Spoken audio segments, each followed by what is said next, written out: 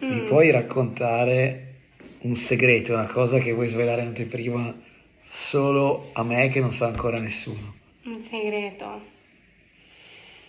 In realtà ce ne sta uno un po', Vai, un po' forte. Non so se sei pronto. Vai, prova a dirlo.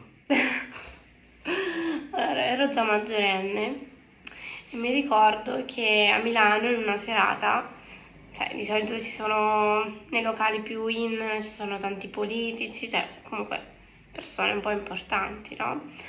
E c'era questo politico di centrodestra che diciamo mi dava un po' le occhiatine, così.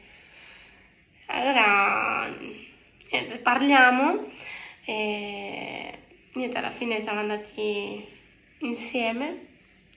Avete concluso?